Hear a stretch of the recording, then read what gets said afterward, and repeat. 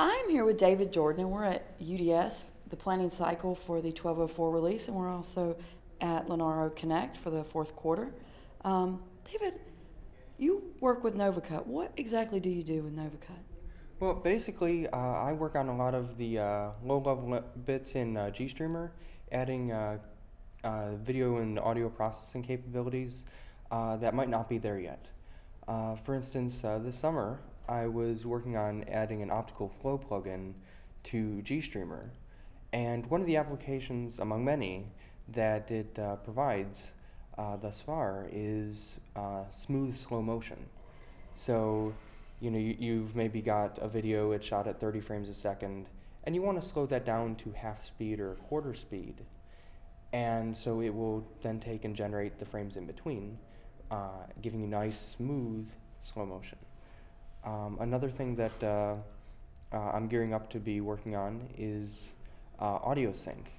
So, for instance, with NovaCut, uh, a multicam workflow is really important for us. Uh, so you know you might have artists that are shooting the same scene from you know one angle or another, and then editing them together, and they might be using a uh, a third audio source. So uh, for that, it's very important to be able to take the audio from the cameras and sync them with real quickly, uh, not only amongst the other cameras, but with a third audio source uh, to really integrate everything together nice and smoothly. That is a feature I would be interested in as somebody who does um, uh, tutorials for various for, for books. For example, the official Ubuntu book has tutorials, and and having to do the screencast and audio together at the same time is often tricky because you have to do it on one take. Um, but if you were able to do the screencast and then go back up and line up the audio with your, your screencast in two different from two different sources, that would act and easily to do. I mean, you can do that now, but it's not easy. So if you guys make that easy, I'm so I'm totally there. Yeah. So, so for instance, there you'd have you know a little uh, uh, microphone hooked up to your computer, and you might have a, a separate audio recorder with a better microphone. You know, uh, like uh, a lot of independent filmmakers like to use uh, Zoom audio recorders, for instance, that provide a bit better audio than what your uh, typical computer microphone can handle. Yeah, it, it, it's a tricky it's it's a tricky situation when you're an amateur trying to do a professional's job, um, and I guess that's how you move from one status to the next. But what I noticed that you had on earlier the uh, the Ubuntu lanyard. Do you also work on the Ubuntu side of things before you started working with NovaCut, or has this been your first introduction to open source and? Well, I've been using uh, Ubuntu for oh about about four years now and uh, you know slowly uh, working on various different aspects.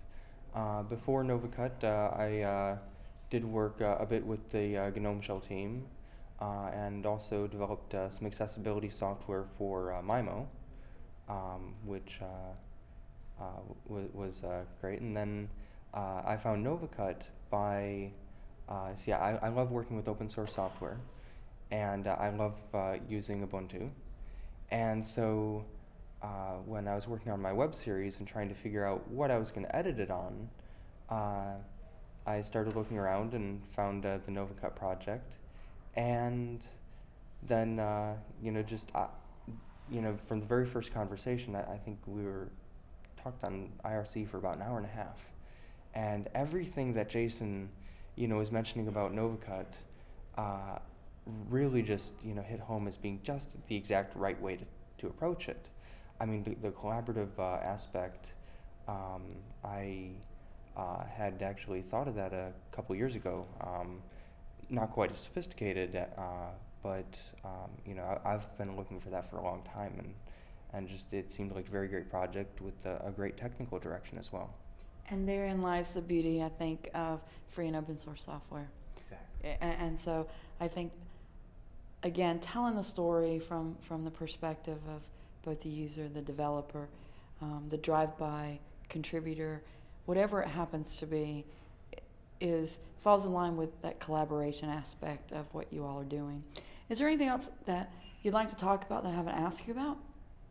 Well, um, uh, I, I really like how uh, uh, really, I mean, the, the, you know, we're working with artists uh, and you know we're, we're really trying to help make uh, uh, save them time because you know really for independent artists time is money, and so you know just uh, making it easier to work together, making it easier to do things faster, uh, is really great. And I think open source especially has the opportunity for, for all sorts of different tools to really work together.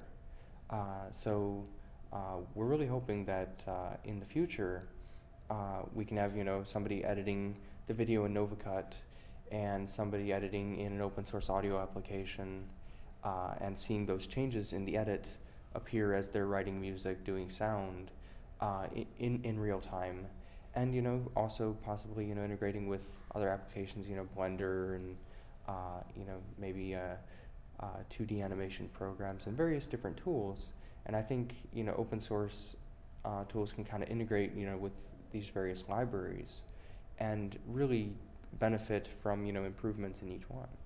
I- I think when I when I hear you talk about the collaborative effort, you know, in my mind as a as not a professional videographer or photographer, but as an end user, I'm thinking NovaCut sounds very much like to those professionals as like Google Plus or Etherpad is to somebody who's heavy into documentation.